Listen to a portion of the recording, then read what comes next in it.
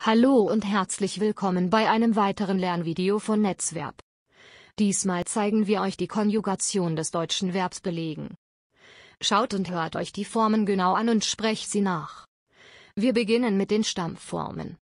belegt, belegte, hat belegt, Kommen wir nun zu den einzelnen Zeitformen. Den Beginn macht das Präsens. ich belege. Du belegst. Er belegt. Wir belegen.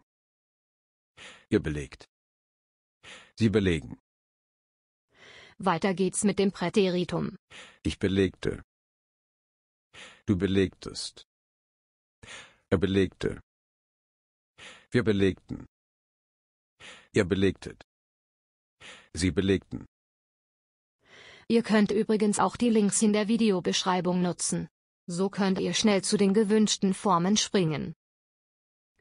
Wir machen weiter mit dem Perfekt. Ich habe belegt. Du hast belegt. Er hat belegt. Wir haben belegt. Ihr habt belegt. Sie haben belegt. Kommen wir als nächstes zum Konjunktiv 1. Ich belege. Du belegest. Er belege. Wir belegen.